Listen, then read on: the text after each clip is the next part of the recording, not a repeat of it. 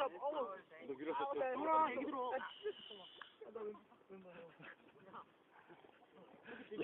교실에서는 해도 실감나는 얘기 아닐 거고 여러분들 보시면 여기가 한 겨울에 와도 묘하게 이 양- 양쪽에 바람이 휘돌아치고 해서 여기 앉으면 한겨울에 와도 그렇게 추운 줄 몰라요.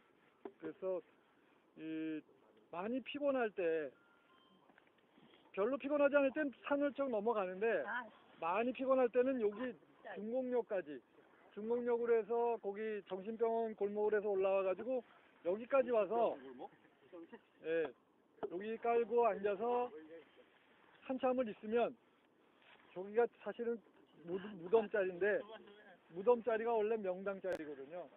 여기가 막 굉장히 마음이 편안합니다. 선생님이 하이킹반을 한 거는 뭐냐면 워낙에 고등학교 생 우리나라에서 고등학교 생활을 한다는 것이 굉장히 힘들어요. 선생님도 고등학교 생활을 했지만 그래서 어 그걸 스트레스를 풀 때 지금 여러분들 뭐 예, 게임 속에서 우리나라 고등학생들이 게임 속에서 스트레스를 많이 풀어요.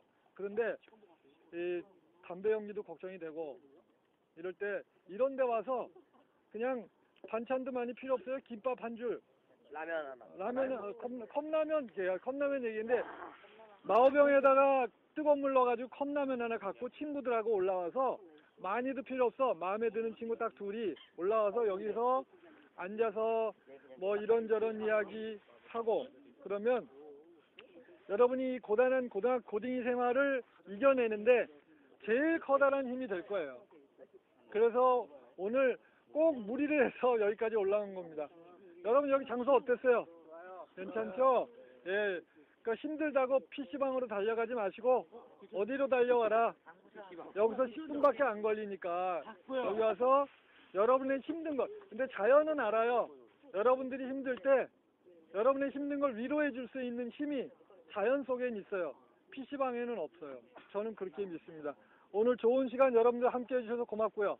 여기까지 올라오신 분들은 생활기록부에 또 넉넉하게 예, 적어 드릴 겁니다. 오늘 수고하셨습니다. 천천히 내려갑시다.